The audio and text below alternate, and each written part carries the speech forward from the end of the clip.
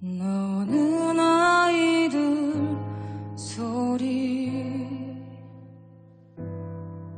저녁 무렵의 표정은 아쉽게 남겨진. 햇살